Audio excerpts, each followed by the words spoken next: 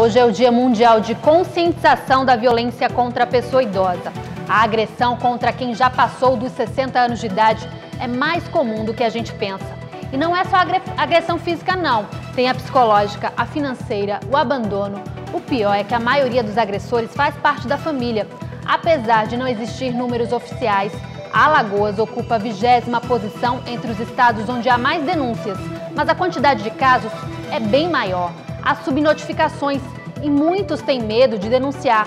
Aqui em Alagoas, bem como em todo o país, faltam políticas públicas para proteger as pessoas idosas. Quem maltrata comete crime e deve ser punido. Este é um dos destaques e veja também. O Hospital Universitário tem nova diretora. É mais um capítulo da guerra entre a UFAL e a empresa terceirizada de serviços hospitalares, EBSER. Maceió deve ganhar plano de arborização. O objetivo é melhorar a qualidade de vida dos moradores da capital e os rituais religiosos para celebrar Corpus Christi. Hoje de manhã teve missa, mais tarde tem procissão. O Jornal do Dia da TV Ponta Verde, emissora do Sistema Opinião, começa agora.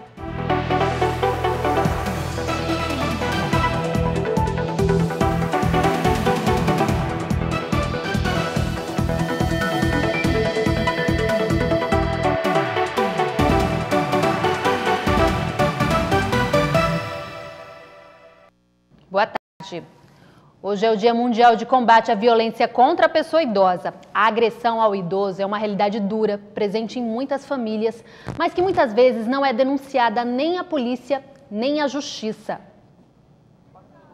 Seria inacreditável se o relato não fosse contado por Dona Olímpia. Se liga no que ela ouviu de um motorista no outro dia ao pegar um ônibus. Eita, já tá a velharia todinha e às vezes passa direto. Aos 67 anos, Dona Mariluze também passou por situações parecidas. Se eu estiver sozinha no ponto, o motor não para o ônibus. Banco, supermercado, é preciso a gente ter muita em frente, enfrentar para poder, senão você não consegue. Agressões verbal e psicológica são tão destrutivas quanto a física, a financeira e a negligência de cuidados. Eu tenho medo danado de. Já estou me preparando para isso.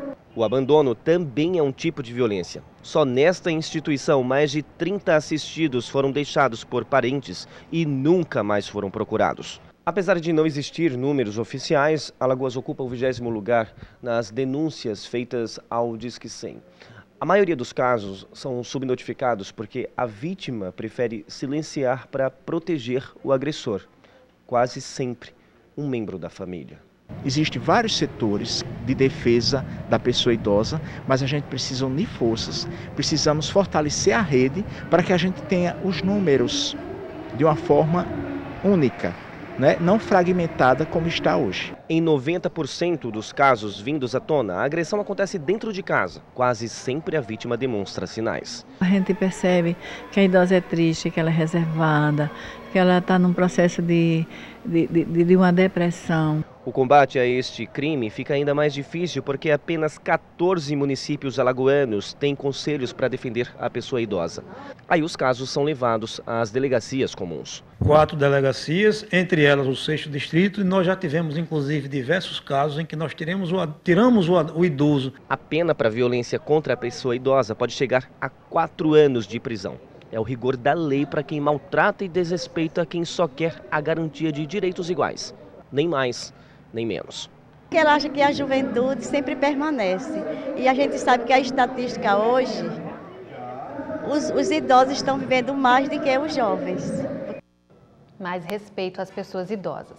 A reitora da UFAL convocou a imprensa para anunciar a nova diretora do hospital universitário e criticar a demissão da antiga feita pela empresa de serviços hospitalares EBSER. Esse é mais um capítulo da briga entre a universidade e a EBSER. Segundo a reitora, a ex-diretora do HU foi demitida sem autorização da UFAL. Durante a coletiva, a reitora Maria Valéria Correia anunciou a nova superintendente do Hospital Universitário, a professora Regina Maria dos Santos, que antes era a gerente de ensino e pesquisa do HU. A reitora explicou que a gestão da professora Maria de Fátima Silianski correspondeu todas as expectativas e resgatou a relação do hospital com a universidade. Ela disse ainda que a empresa brasileira de serviços hospitalares, EBSER, não justificou a saída da superintendente do cargo.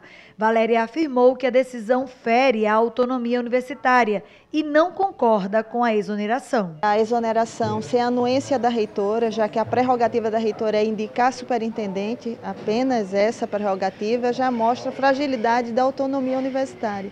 E esse fato é, teve a comoção do país, né, de, várias, de mais de 200 entidades, conselhos universitários, o Conselho Nacional de Saúde, é, em defesa da autonomia universitária. Segundo informações divulgadas pela imprensa, o motivo da exoneração da professora Maria de Fátima Silianski teria sido uma crítica feita por ela ao modelo de gestão da EBSER em uma audiência pública realizada no dia 30 de maio na Câmara dos Deputados em Brasília. No dia 7 de junho, a superintendente foi exonerada. Ela afirma que a decisão da empresa foi monocrática. Eles não me pediram em nenhum momento satisfações. Professora, o que a senhora falou lá? Né? Né? O que, que é isso? Eu nunca recebi nenhum documento pedindo satisfações. Né? A senhora, por favor, se explique, né? O que, que aconteceu? Maria de Fátima Silianski é do Rio de Janeiro e estava à frente do HU desde maio do ano passado. A gestão dela iria até 2020. Regina Maria dos Santos pretende dar continuidade ao trabalho já realizado e tentar resolver um dos problemas antigos do hospital, que é a superlotação da UTI neonatal. Gostaria muito de estar dizendo aqui que nós temos agora é, caminhos para ampliar os serviços.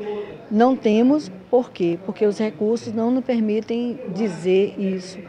Mas nós temos, assim, a compreensão de que essa superlotação precisa ser resolvida e precisa ser resolvida com segurança. As crianças que são atendidas não podem ter alta pre prematuramente, porque isso pode significar um risco à sobrevivência delas. A gente tem uma porta aberta pela rede cegonha na maternidade, o que implica dizer que as mulheres que nos procuram são mulheres de alto risco, são gestantes de alto risco, precisa ser garantido a elas a recepção desse bebê que nasce. E isso é uma coisa que nós temos que sentar e recontratualizar com o Estado, com o município, aliás. A Polícia Rodoviária Federal registrou um grave acidente em Branquinha com um ônibus que transportava uma quadrilha junina. A PRF pede atenção aos motoristas que vão pegar a estrada nesse feriado de Corpus Christi. O Adson Correia tem mais informações. A Polícia Rodoviária Federal está nas rodovias para prevenir acidentes. E para falar sobre o assunto, eu converso agora com o chefe da comunicação da Polícia Rodoviária Federal de Alagoas, José Bernardes. Algum incidente já nesses, nesses minutos? Como é que está a situação? Tivemos alguns acidentes esparsos, alguns acidentes é, sem vítimas fatais, Porém, ontem de madrugada, né, no início da madrugada, 11h30 da noite, nós tivemos um acidente na BR-104, no município de Branquinha, onde um ônibus escolar, um amarelinho, como a gente conhece, ele teve, ele saiu de pista e ele capotou às margens da rodovia.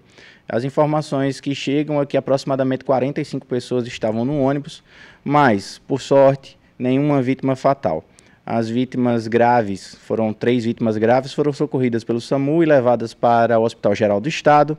As vítimas de menor gravidade, mas que dependiam de atendimento hospitalar, foram para o Hospital de União dos Palmares.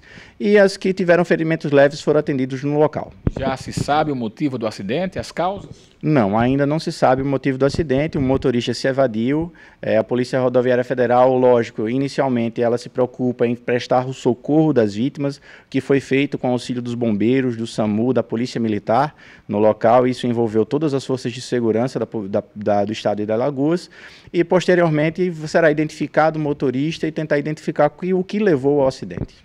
Vários pontos das rodovias Existem patrulhamentos. Qual é a orientação da Polícia Rodoviária Federal para quem vai cair na estrada agora à tarde, pegar a estrada e justamente no período chuvoso, né? Exato. O, na verdade, a viagem começa antes de você sair de casa. Se você sai de casa, você tem que antes dar uma olhada no seu carro. Nós estamos aí com previsão de chuva, não só para hoje, que já está chovendo, mas para todo feriadão.